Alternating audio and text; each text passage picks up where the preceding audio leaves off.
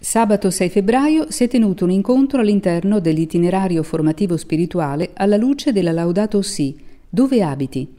Carmine Trecroci, professore di economia dell'Università degli Studi di Brescia, ha affrontato l'argomento Persone e territorio, legami da custodire, la situazione nel Bresciano. Abbiamo eh, un presente e un futuro prossimo eh, che eh, ruotano intorno a a varie questioni importanti, criticità globali, come per esempio le tensioni sociali che originano dalle tante diseguaglianze tra Stati.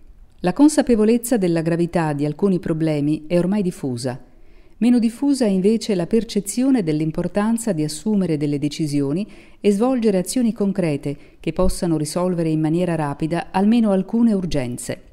Cosa eh, significa tutto questo? Che in pratica nelle nostre attività di produzione e di consumo eh, non sosteniamo sempre, probabilmente non lo sosteniamo mai, il reale costo dell'impiego delle risorse naturali e ambientali, bensì ne sosteniamo solo una parte. E quindi tendiamo a eh, condurre, ad, a, ad applicare un uso eccessivo, quindi un abuso eh, di queste risorse e dei beni comuni che eh, l'attività di produzione e di consumo impiega.